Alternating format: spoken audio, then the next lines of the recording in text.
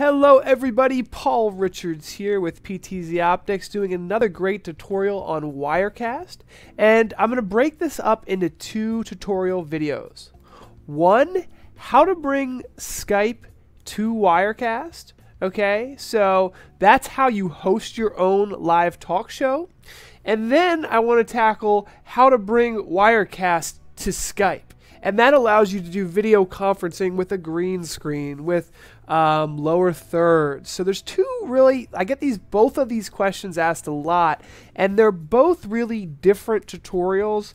They sort of have the same thing but what i want to do is i want to start with bringing wirecast into skype very, very simple. So for Skype or GoToMeeting or WebEx or Zoom, it doesn't matter. Any video conferencing software, any application that uses webcams, basically.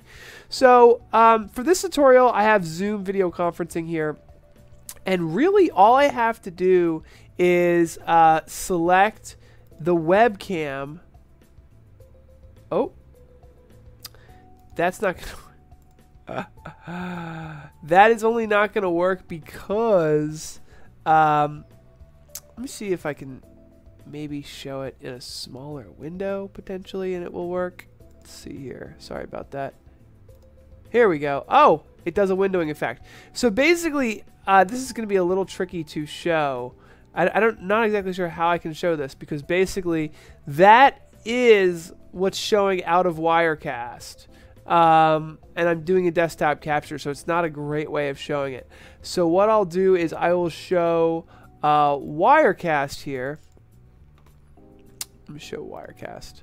So here's Wirecast, and um, all I have to do is go up to Output and go to External Displays and Virtual Camera Out.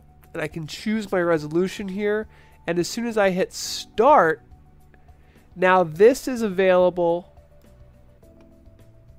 in my video conferencing software.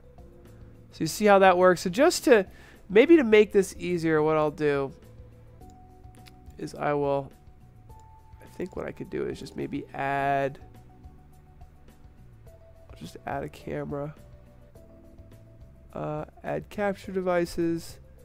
Let's add my camera here. So there it goes. So you can see there, and I can go down here now and hit Wirecast external camera, and whatever is in Wirecast at the time, boop, will show up in Skype or GoToMeeting or WebEx. So if I want to do a lower third along with this, uh, titles, just add a quick one.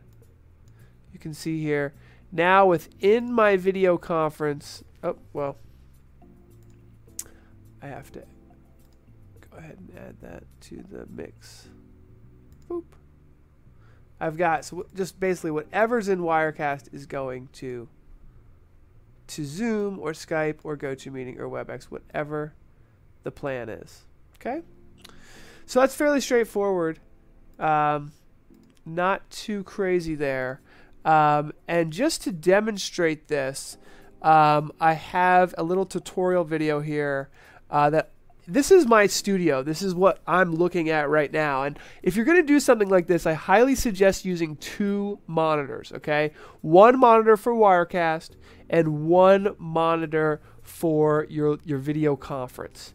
And um, basically, all you need to do is go over to Wirecast and uh, select your external webcam and then select it as your webcam in your Skype, GoToMeeting, Zoom, or WebEx. So therefore, you're just feeding your everything you want camera-wise, uh, dis- display-wise, media, files, everything into Wirecast, and then just feeding it as a webcam source into Skype, GoToMeeting, or WebEx. So it's really actually pretty straightforward um, all in all. The next tutorial where we talk about hosting your own live talk show is basically using both technologies. We're feeding our webcam into Skype, but we're also taking Skype and feeding it back into Wirecast, and then we're streaming it to the world. So we'll tackle that in the next video. one thing at a time. Uh, the links will be below, and uh, let's let's tackle that now.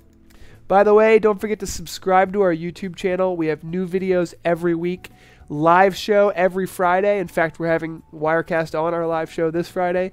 Don't forget to subscribe to our channel, and thanks so much for watching, everybody. Take care.